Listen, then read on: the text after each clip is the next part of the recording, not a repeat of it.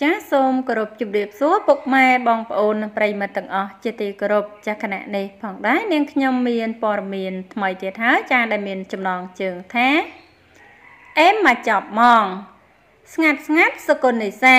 ដាក់មួយបទទៀតបាត់ពីរោះណាស់ជាមួយស្ទាយតបតែងខ្លួន ឡើងប្លែកទៀតចាប់អារម្មណ៍ត្រង់នេះពេកហ្វេនហ្វេនតបចិត្តលែងជាប់ហើយក៏ចូលខមមិនព្រាបថា ចាហ្វេនហ្វេនក៏ដូចជាមហាជនទូទៅពិតជាស្គាល់ច្បាស់ជាជាមិនខាន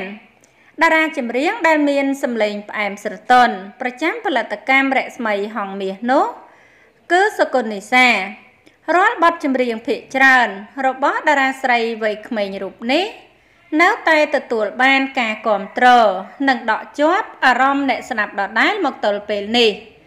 កាន់តែស្ដាប់កាន់តែពិរោះមិនចេះធុញទ្រាន់ឡើយ។ ពិសេសបត់មโนសញ្ចេតនាតែម្ដងព្រោះតែការពេញចិត្តពីសំណាក់ fan fan គេឃើញសកុននិសាតែងតែលេចមុខក្នុងកម្មវិធីតូចធំមិនដែលដាច់ឡើយ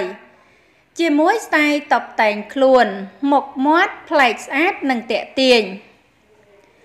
ជាក់ស្ដែងម្សិលមិញនេះ នាថ្ងៃទី22ខែមិនិនាឆ្នាំ2022 ខាងផលិតកម្មរស្មីហងមាសបានបញ្ចេញចម្រៀងមួយបទទៀតហើយ សម្រាប់សកុននេសាក្រមចំណងជើងថា បងហ្វ័ជីអូនហ្វាយជី ដែលជាការនិពន្ធទំនុកច្រៀងនិពន្ធបទភ្លេងនិងសម្រួលតន្ត្រី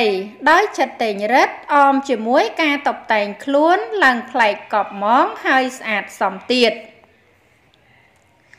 ស្ដាប់ចប់សឹងមិនទាន់ចាប់អារម្មណ៍ត្រង់នេះពេកហ្វេនហ្វេននាំគ្នាចូលខមមិនព្រាតថា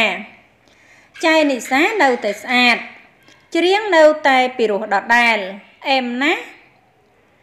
ស្អាតណាស់ហើយរំលយទៀតស្រឡាញ់សំឡេងគាត់ពីរោះហើយឡើងសុភាពសំឡេងនិងសម្រស់នៅដូចដើមអាយដល